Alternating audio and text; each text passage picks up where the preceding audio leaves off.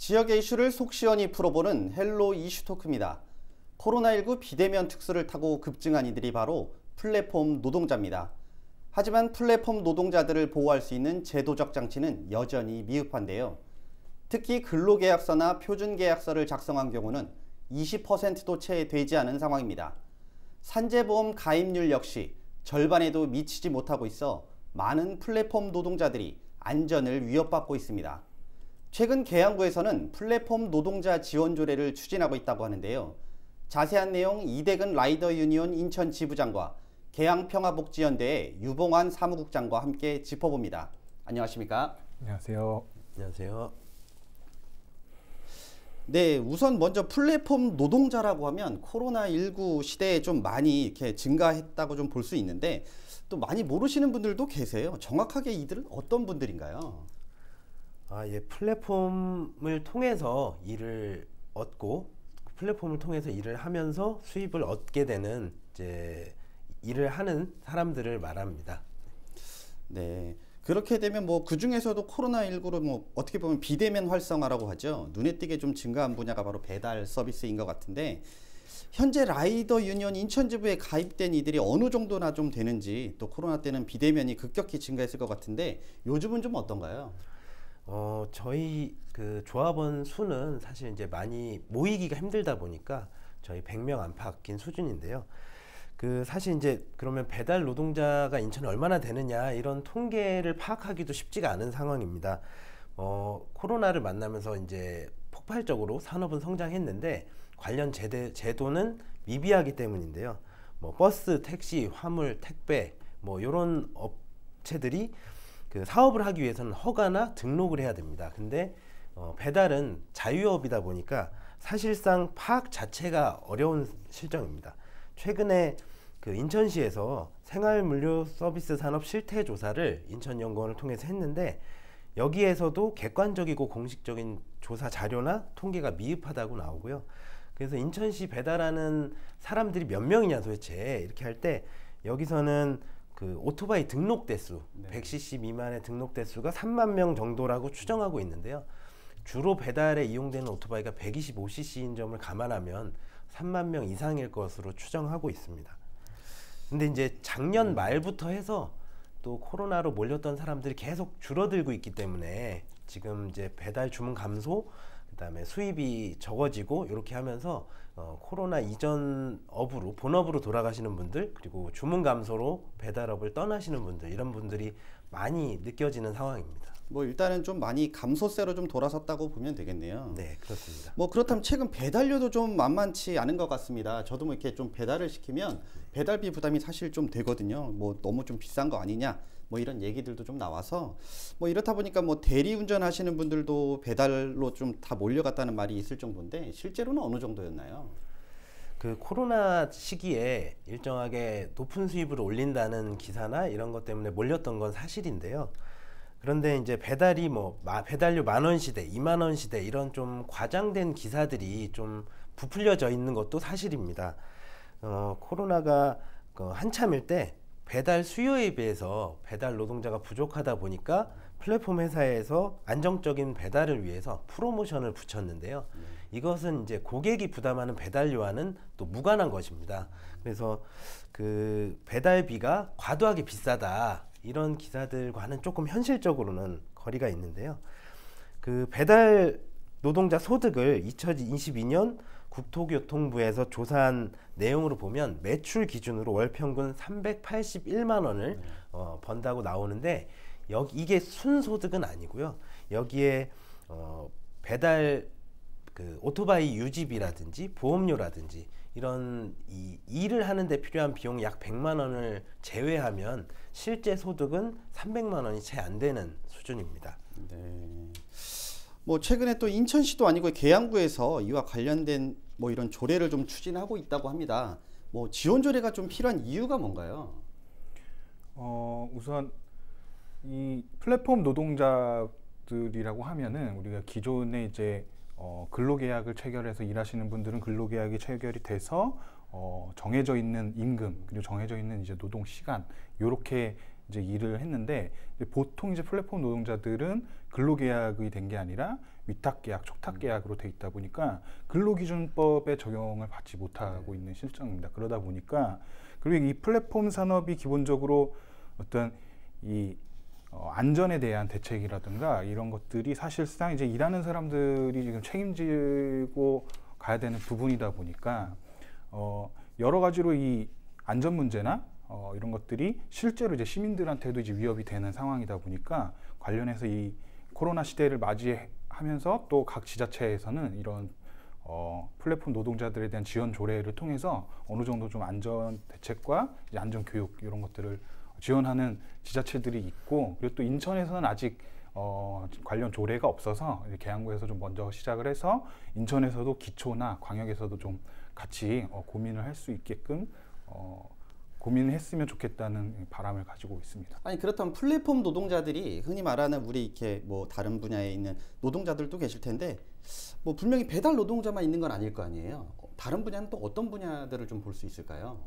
네, 이제 플랫폼 산업이라고 하면은 우리가 어, 온라인이나 어, 인터넷 그리고 어플리케이션을 통하는 이런 플랫폼에서 이 수요자와 공급자를 매칭시키는 이런 이제 산업으로 볼 수 있는데 이제 거기서 일하는 사람들은 아까 말씀하셨던 것처럼 이제 대표적으로는 이제 배달 기사님들, 배달 대행하시는 분들이나 혹은 대리 기사 분들 그리고 또 어, 최근에는 이제 가사 노동 서비스라든가 어, 육아 돌봄 서비스 이런 것들도 있겠고 그리고 또 그리고 과외나 각종 이제 교육 서비스들도 있을 수 있겠고 그리고 최근에는 이 웹 기반으로 하는 이제 창작 활동 대표적으로 이제 웹툰 서비스를 제공하는 이런 노동자들도 지금 있는 것으로 파악을 하고 있습니다.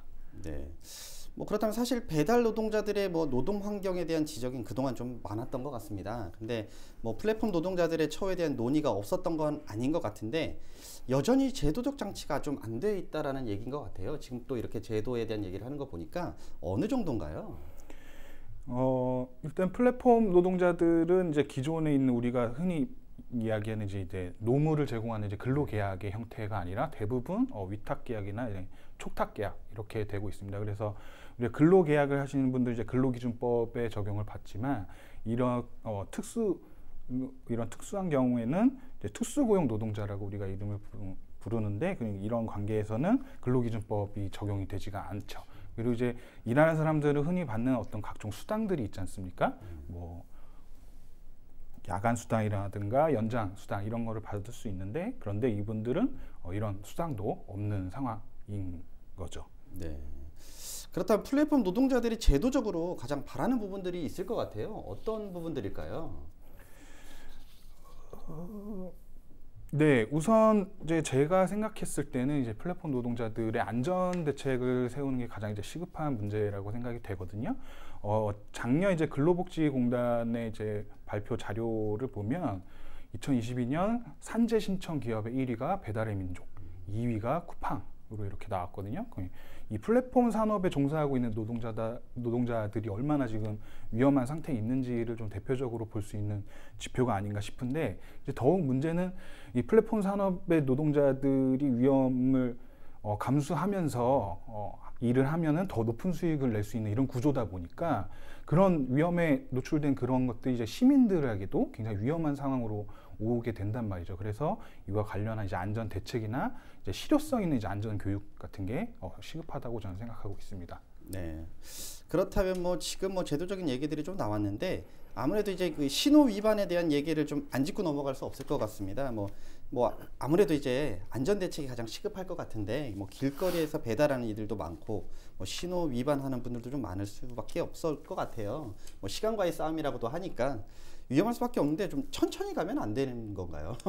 뭐 저도 이제 배달 일을 시작할 때 주위에서 위험하니까 좀 하지 말아라 이런 만류도 많이 듣고 어, 저 스스로도 안전하게 일을 해야지 이런 다짐을 하고 했었는데 근데 현실에서 막상 쉽지가 않더라고요. 그러니까 플랫폼 기업이 기본 배달료를 낮게 책정한 상태에서 주문이 많은 피크 타임에는 그 주문량을 소화하기 위해서 프로모션을 붙여서 노무 관리를 하는 체계이기 때문에 장시간 노동을 기본적으로 할 수밖에 없고 그리고 피크 타임에는 한 건이라도 더 하기 위해서 어 무리하게 운전하는 이런 상황이 많아지는데요. 어, 최근에는 또 정해진 시간이 아니 시간 안에 배달을 수- 수행하지 않으면 배달을 너 하고 있냐 이렇게 확인하는 창이 뜨거든요. 그러니까 답을 하지 않으면 배달이 취소되는데 이걸 화, 화, 저기 답을 하려면 주행 중에 네 번을 터치를 해야 되는 상황이거든요. 그래서 이 플랫폼 기업이나 상점 고객분들의 이제 재촉 이런 것들도 사실 저희가 안전하게 일하고 이렇게 천천히 일하고 이렇게 하는 것이 쉽지 않은 상황입니다. 시민들 입장에서는 주문을 했을 때 빨리 오는 것을 또 원하시잖아요. 또 거리에서 또 신호를 위반하고 위험하게 운전하는 것은 또 위험하다고 느끼시고 그런 그런 이중적인 면도 사실상 존재하는 부분이 있다고 생각하고요. 그래서 저희는 또 안전 운전을 위한 자정도 필요하다고 생각하기 때문에 노조 차원에서 뭐 횡단보도에서 오토바이를 끌고 간다든지 어린이 보호 구역에서는 무조건 어떤 경우를 막론하고 신호를 중수한다든지 이런 캠페인을 하고 있는데요. 일단 뭐 저희가 배달 대행 등록제나 라이더 자격제 그리고 기본 배달료 인상 그다음에 알고리즘을 좀 배달 노동자들도 알 수 있게 공개하는 등 이런 구조적 문제도 함께 해결되어야 어, 이런 것들이 좀 가능하지 않을까 이렇게 생각합니다. 뭐 지금 말씀하시는 걸 보면 진짜 말 그대로 안전에 대한 장치가 가장 시급하다는 말씀이신 것 같은데 실제 뭐 근로계약서를 쓰는 것도 아니고 뭐 산재보험도 이루어지지 않다고 합니다. 그렇다면 뭐 안전에 대한 보험이나 뭐 이런 대비들을 할 수 있는 방법들이 있나요? 뭐 이제 법정 노동자가 아니기 때문에 기본적으로 위탁 계약서, 위촉 계약서를 쓰는데요.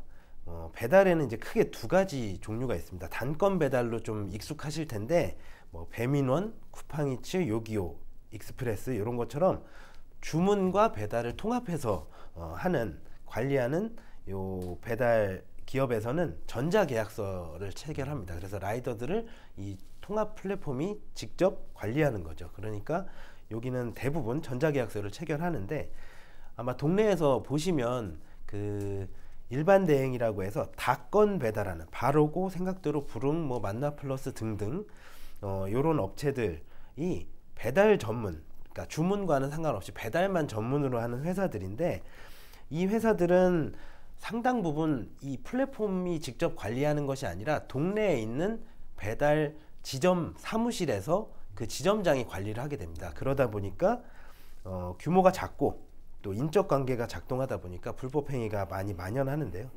계약서를 작성하지 않는 경우도 많고 작성하더라도 교부를 하지 않습니다.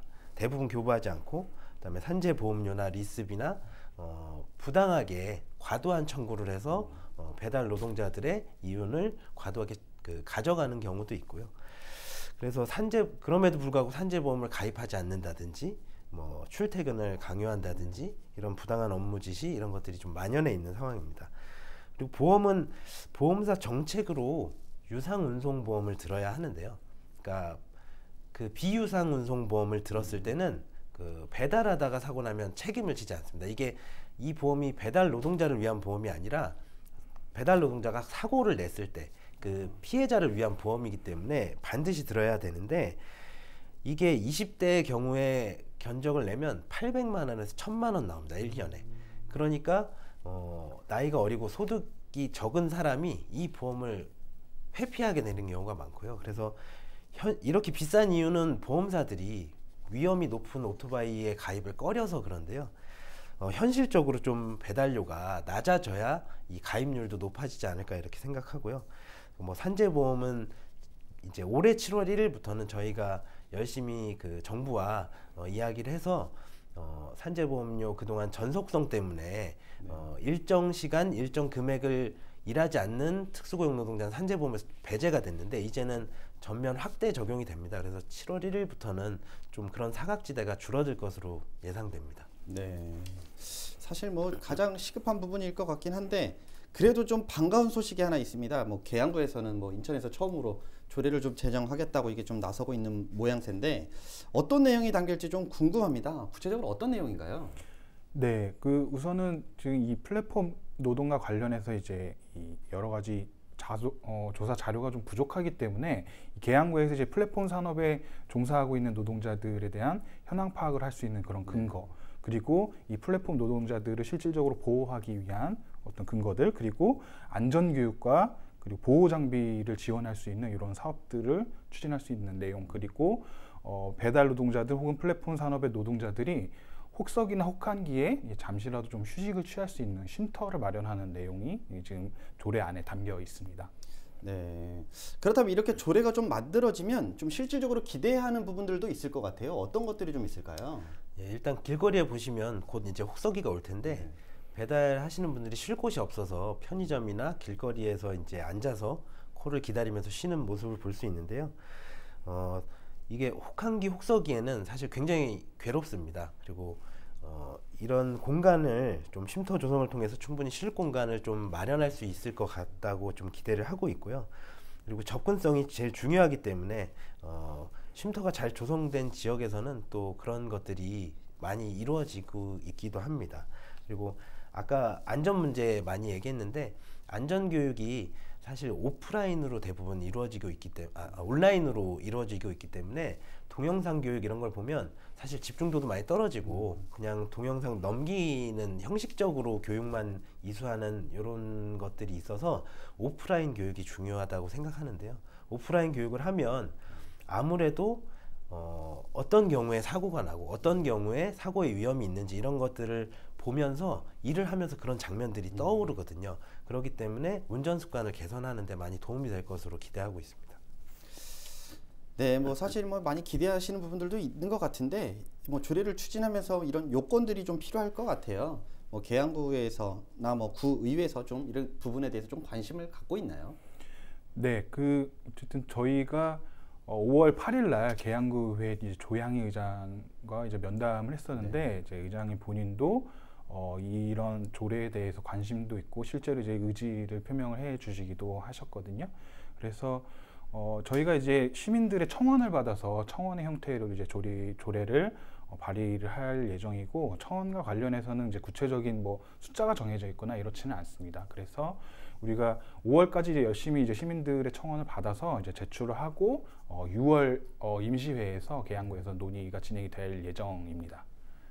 뭐 그렇다면 이제 인천시 조례가 아닌 계양구가 좀 먼저 이렇게 조례를 좀 추진하고 있는 것 같은데 인천시 조례안도 혹시 좀 준비가 될까요?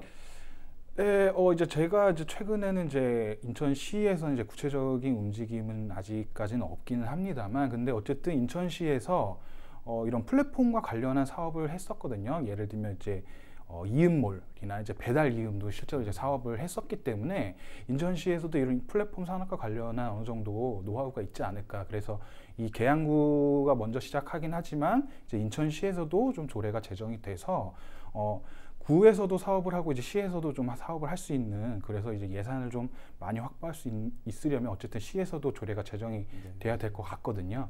네, 그런 측면에서 어쨌든 인천시도 플랫폼과 관련한 이제 노하우가 있으니까 어, 더욱더 빨리 이제 논의가 물살을 타지 않을까 이렇게 기대를 하고 있습니다. 네, 뭐 사실 보면 뭐 이 우리 라이더라고 하시죠 대부분 네. 이런 분들 좀 많이 고생들을 좀 하시는 것 같아요. 현장에서의 좀 어려움도 좀 많으실 것 같은데 좀 구체적으로 몇 가지들 좀 얘기 좀 해주시죠.